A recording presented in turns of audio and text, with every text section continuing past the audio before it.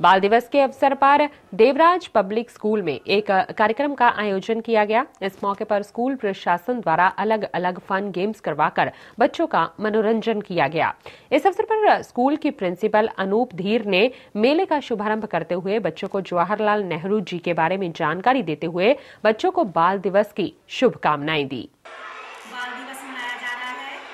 बच्चों, आज अ, ब- चाचा नेहरू का जन्मदिन है इस खुशी में आज बच्चे जो हैं सज धज के बड़े ही सुंदर ड्रेसेस पहन के आए हैं। बच्चों में बहुत उत्साह है।